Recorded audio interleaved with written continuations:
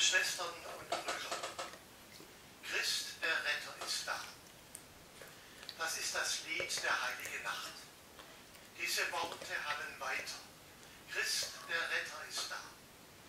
Das ist die Kurzformel dessen, was wir an Weihnachten am Fest der Geburt Jesu feiern. Wie der Dichter des bekanntesten Weihnachtsliedes Stille Nacht, so versuchten die Menschen von Beginn an in Worte zu fassen, was wir an Weihnachten feiern. Gott steigt aus des Himmels Höhen herab. Er entäußert sich und wird Mensch, damit alle ihre Knie beugen vor dem Namen Jesu. So beschreibt der Philipper-Hymnus, einer der ältesten Texte des Neuen Testaments, die Inkarnation, das Weihnachtsereignis der Menschwerdung Gottes in Jesus Christus. Der Evangelist Johannes wählt eine ähnliche Sprache. Im Anfang war das Wort und das Wort war Gott und das Wort ist Fleisch geworden und hat unter uns gewohnt.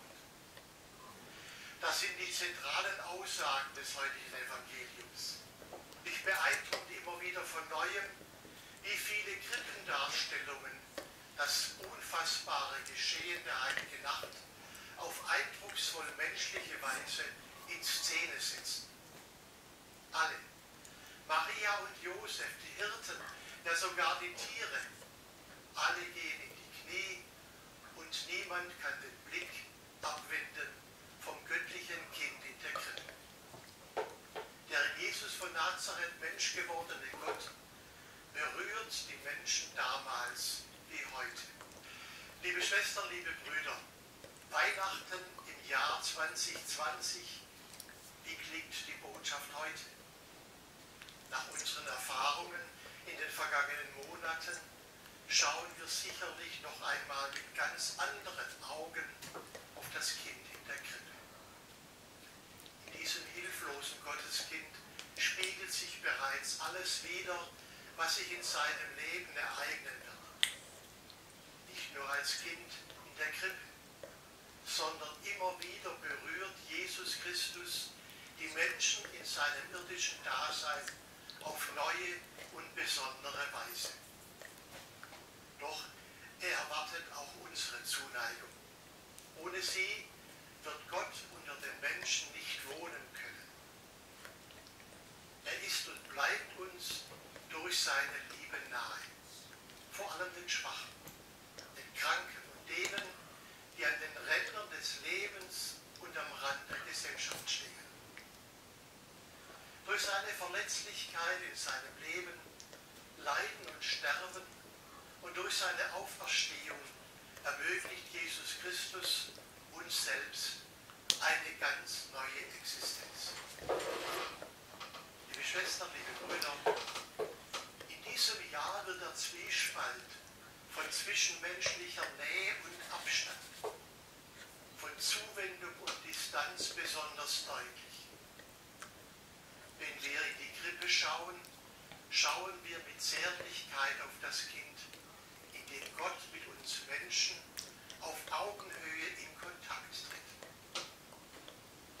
Kontakt kommt vom lateinischen Wort contactus, das in seiner ursprünglichen Wortbedeutung einen großen Zwiespalt benennt. Kontaktus bedeutet Berührung, aber auch Ansteckung.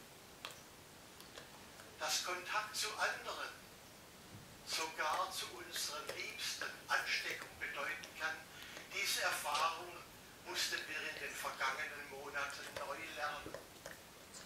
Schmerzlich ist besonders heute an Weihnachten, wenn sich Familien, Eltern, Kinder, Enkel und Freunde nur eingeschränkt besuchen können, weil Nähe auch krank machen kann. Im Kind in der Krippe ist Gott schon einmal neue Wege gegangen. In Jesus Christus hat er eine Lösung gefunden, die Welt zu retten und zu heilen. Christus, war das Leben und das Licht der Menschen. So heißt es im Weihnachtsevangelium nach Johannes. Das Leuchten und die Wärme der Gegenwart Gottes erfülle uns auch heute. Schauen wir auf das verletzliche Kind in der Krippe und nehmen alle, die wir lieben, mit hinein in unser Gebet. Bleiben wir so einander verbunden, so wünsche